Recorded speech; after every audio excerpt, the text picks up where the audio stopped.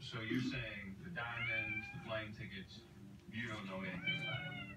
Uh, he got in the trunk and I freaked out, so I turned around and I drove back to LA.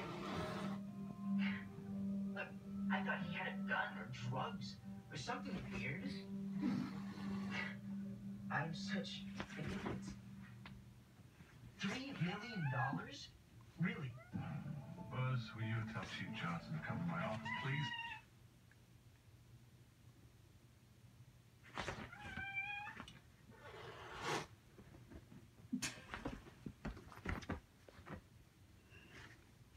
He wants to play.